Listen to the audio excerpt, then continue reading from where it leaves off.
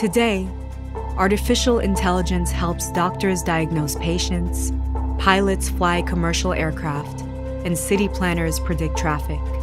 But no matter what these AIs are doing, the computer scientists who designed them likely don't know exactly how they're doing it. This is because artificial intelligence is often self taught, working off a simple set of instructions to create a unique array of rules and strategies. So, how exactly does a machine learn? There are many different ways to build self teaching programs, but they all rely on the three basic types of machine learning unsupervised learning, supervised learning, and reinforcement learning. To see these in action, let's imagine researchers are trying to pull information from a set of medical data containing thousands of patient profiles. First up, unsupervised learning.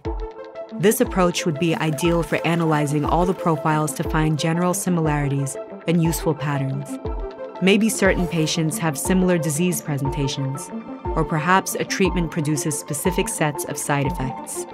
This broad pattern seeking approach can be used to identify similarities between patient profiles and find emerging patterns, all without human guidance. But let's imagine doctors are looking for something more specific. These physicians want to create an algorithm for diagnosing a particular condition. They begin by collecting two sets of data medical images and test results from both healthy patients and those diagnosed with the condition. Then, they input this data into a program designed to identify features shared by the sick patients, but not the healthy patients. Based on how frequently it sees certain features, the program will assign values to those features' diagnostic significance, generating an algorithm for diagnosing future patients.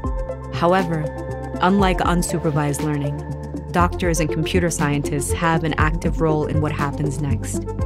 Doctors will make the final diagnosis and check the accuracy of the algorithm's prediction. Then computer scientists can use the updated datasets to adjust the program's parameters and improve its accuracy. This hands-on approach is called supervised learning. Now let's say these doctors want to design another algorithm to recommend treatment plans.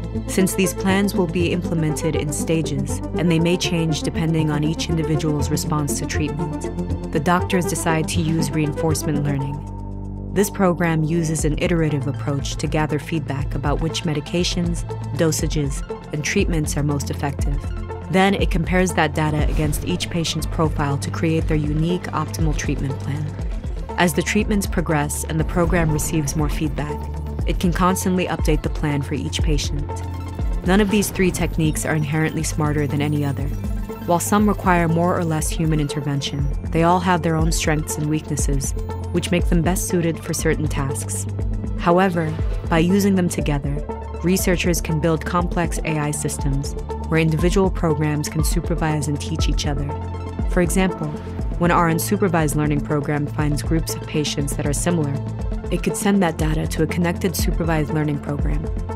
That program could then incorporate this information into its predictions, or perhaps dozens of reinforcement learning programs might simulate potential patient outcomes to collect feedback about different treatment plans.